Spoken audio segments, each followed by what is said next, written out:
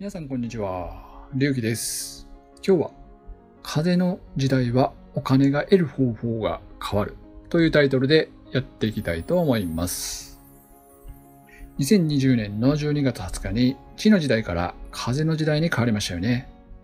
ですから、地の時代にお金を得ることができた方法と、これからの風の時代にお金を得ることができる方法って変わってきたりするんです。皆さんもお金に関してどうですかね？風の時代に入って何か変化ありましたか？これからはお金を得る方法がどんどん変わっていくので、ぜひ最後までお聞きくださいね。そんなお金を得る方法の変化には5つ特徴があります。この5つをマスターしておくと、風の時代でもお金を得ることができるようになります。その5つの特徴なんですが、それはまず1つ目、見えるものから見えないものへと変化していきます。そして2つ目、権威から共感へ。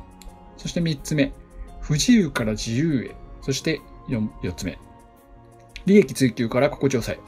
そして5つ目、煽るから愛へという感じです。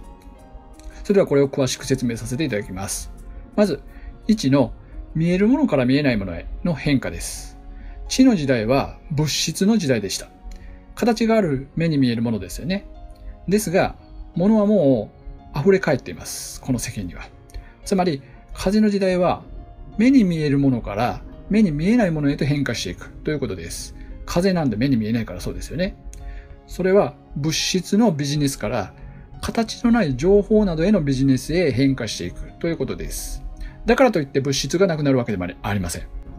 この世を構成する元素には、火、地、風、水といった4つのエレメントがあって、このバランスをとって構成されているからです。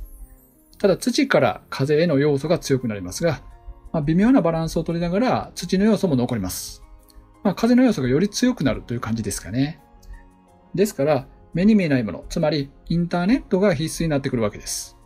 物質を扱ったビジネスでも、インターネットを使って販売するといったイメージですね。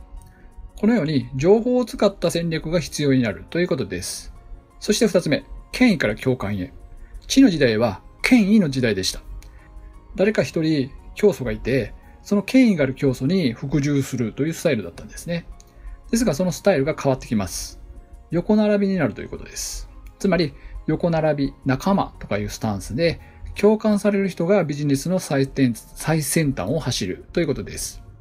競争的なスタイルは徐々に時代に合わなくなってくるということですね。今後はそのビジネススタイルは崩壊していくんでしょうね。なので、SS、SNS なんかを使ってビジネスをしている方は、あんまり偉そうにしないことですね。逆に、横並びで共感を作っていくような感じにしてみてください。そして、三つ目。不自由から自由へになります。まさに風の時代の象徴です。風のように自由になれるんです。例えば、場所に関してもそうですよね。地の時代は決められたオフィスに行って働くのが当たり前でした。でも、風の時代に入ってからは、オフィスに行かなくても在宅でワークができたり、まあ、別に場所にこだわらず、まあ、縛縛られずにパ、パソコンさえあれば、リゾート地とかでも仕事ができたりしますよね。まあ、いいですよね。リゾート地で仕事ができたら理想ですよね。また、仕事は仕事、趣味は趣味という自由がなかったのが地の時代でした。でも風の時代は趣味をしていてそれが仕事になるという自由なスタンスになってきたりもします。僕もこのように SNS で発信するのが好きで、全然ここの仕事を仕事をしてるような感じがしなくて、なんか趣味の延長線上みたいな感じでやってるんですね。でもお金もいただけたりしています。まあ、このような人がどんどん増えていくんではないでしょうかね。まあ、楽しみですよね。で、このように不自由から自由なスタンスで仕事ができる時代にこれからはどんどん移行していきます。次に4つ目。利益追求から心地よさ。地の時代は利益を追求するために過酷な労働を強いられてきたりしました。それが徐々に弱まってきます。過酷に労働して利益を追求するより、心地よさが追求される仕事に変わり、移り変わるんですね。いかに心地よく仕事ができるかなんです。そして商品に関しても、今までなんか百貨店が扱う有名ブランドがなんか人気があったりしましたが、今後は本当に使ってみて心地いいものとかが求められる時代になってきます。そのあたりを意識しながら商品作りやサービス作りをしていくといいということです。まあ自分が心地よく働いていないと、心地いいものなんて作れませんよね。ですから、まずは自分が心地よく働ける環境づくりから始めてみてください。そして5つ目です。煽るより愛へという変化です。地の時代ってなんかこれをしないとダメになりますよとか、これを買わないと良くなりませんよみたいな、なんか煽るビジネスっていうのが横行してましたよね。そしてそういうビジネスも成り立っていました。なんか占い師だとね、壺を売る感じですよね。なんか高額の壺ですよね。ですが、そういう煽る系のビジネスというのは今後通用しなくなります。えっ、ー、と、風の時代に入っていくにつれて、煽るビジネスから愛のビジネススタイルになっていくということです。本当にそのお客さんにとっていいものやいいサービスを提供しないと通用しなくなるんですね。そんないい商品やサービスがはびこってくるのっていい時代といえばいい時代ですよね。つまり私たちがより豊かに快適になる流れになっていくということです。要するにボーダーからボーダーレスへと移動していくんです。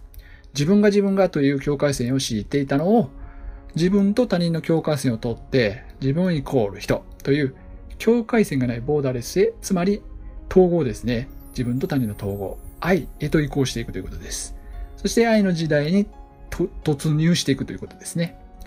まとめると、地の時代から風の時代に移行しました。ですから、お金を得る方法も変わりました。そんな風の時代にお金を得る方法の変化には、こんな特徴があります。5つですね。それは、目に見えるものから目に見えないものへ。権威から共感へ。不自由から自由へ。利益追求から心地よさへ。煽るより愛へという感じです。ぜひ参考にしてください。今日も最後まで聞いていただいてありがとうございます。よかったらチャンネル登録、高評価、コメントもよろしくお願いします。それではまた次回の動画でお会いしましょう。皆さんの幸せを心よりお祈りしております。